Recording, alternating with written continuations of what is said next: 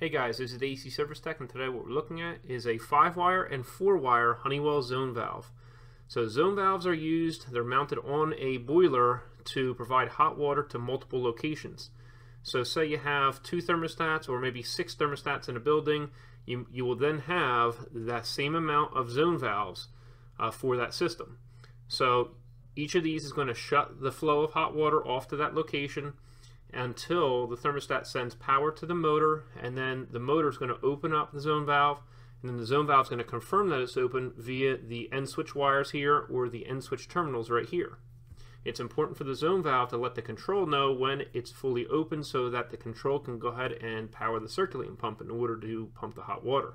So in this video I'm going to show you some of the internal components in order to know how it works and then we're going to go ahead and power a motor and we're going to confirm that the zone valve is open.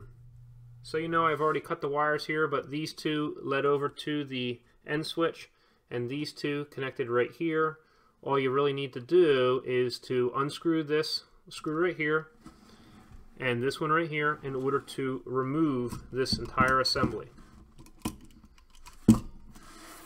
Now once you're in here, all you have to do is unscrew these. So you can see that the actual electrical mechanical on the top can be changed out.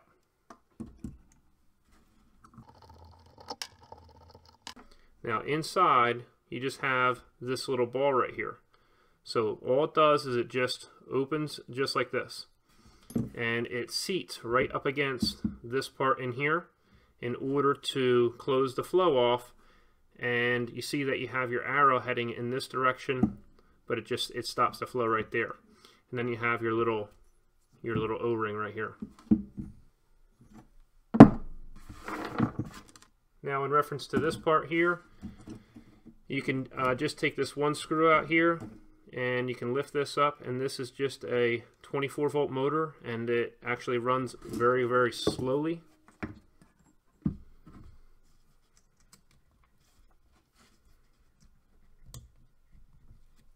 Now go ahead and power it. So you can see the sprocket right there moves very very slowly.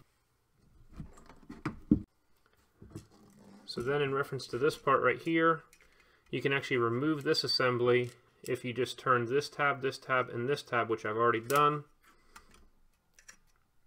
And there's your gears and spring assembly. Right here you have your, your little micro switch. And, and that's that. So this actually sat right in there. Now we have our 24 volt power wire connected to TH and our common wire connected to TR and let's go ahead and apply power. So you see our motor's turning which makes our gear turn and the tab is going to press up against the micro switch and you're going to hear a clicking noise. That means that the two red wires are now touching and that's an indication that the valve is actually open. Now let's go ahead and disconnect our power. Now you heard that click, which means that the two red wires are not touching, and now our valve is closed. So now our zone valve is wired up. We have our hot wire coming straight over to the R terminal in the thermostat, and then it would come out of the thermostat on W on a call for heat over to TH. TH is a 24 volt input to the to the valve, and then we have TR is the common, and that comes straight over to the transformer. THTR, that's more like a landing spot. That's just a junction for the hot wire, but it's actually not connected in the back. And you see I actually have this little wire sitting inside the, uh, the pipe right here for when the zone valve opens, just because it's hard to see down in there. So now we're going to go ahead and I'm going to power this with 24 volts, and we're going to uh, read a continuity reading across our end switch terminal right here and here. And let's go ahead and turn our multimeter on. And now we're going to go ahead and apply 24 volts to the motor with our thermostat. So our motor is turning right now. And you should be able to see this wire move a little bit.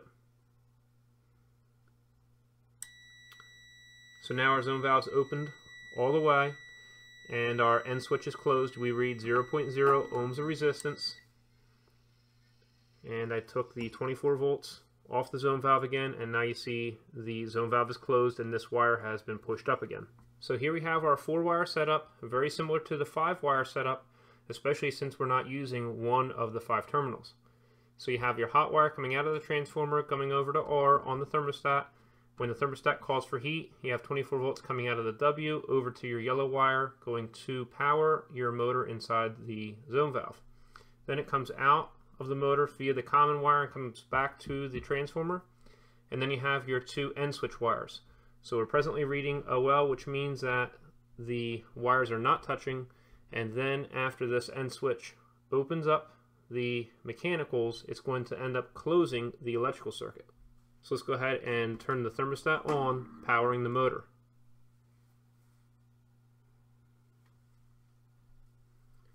See the wire moving a little bit? And now our zone valve's open. Let's go ahead and shut it. You see our little wire got stuck under there, but I just had that in there just to show you how that ball moves up and down, closing and opening the zone valve. in reference to troubleshooting these zone valves, if you have 24 volts applying to the yellow wires heading to the motor, uh, but you just don't hear anything happening and you're not getting any hot water, then what you could do is just shut the power off, disconnect the wires, and check a resistance reading across the motor. And in this case, you see we're reading 20.6 ohms of resistance to electrical flow. And that will be the same thing over here on this TH and a TR terminal on this zone valve. If you read OL across this, then that means that the windings inside the motor have burned apart and the motor is no longer any good. As well, uh, say you have 24 volts to the motor and the motor's running fine, but when the zone valve opens, you don't have any resistance reading across these two. This should be uh, very close to 0.0 ohms of resistance. But if you don't have that 0.0 ohms of resistance, then that microswitch could be bad. But it is very easy to just change out the power head. So you can do that with just those two screws I showed you earlier, and you don't have to drain any water out of this assembly right here. In an emergency situation, you can always turn this manually and it's just important to note that when you do that, you still won't have continuity across the end switch. So even though your valve is open, you won't have hot water flowing to that part of the building until another zone valve is calling for heat. The zone valve is open, it's just not open enough to press up against the microswitch. If you're looking for the multimeter, the zone valves, or the wiring instructions for the zone valves, I have them all linked down in the description below. If you want to help support this HVACR training channel, click right here. If you want to subscribe, click right here. And if you want to see another HVACR training video, click right here. Hope you enjoyed yourself, and we'll see you next time at AC Service Tech channel.